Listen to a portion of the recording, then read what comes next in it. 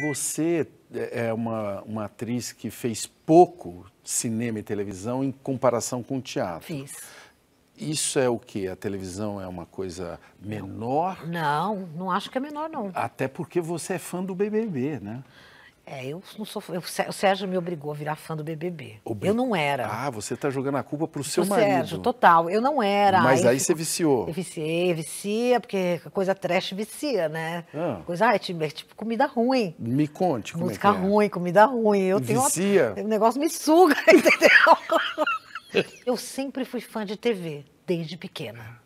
Eu, outro dia eu estava lembrando que eu assistia, minha mãe trabalhava e eu ficava sozinha em casa com a empregada. Que, que eu fazia? Televisão.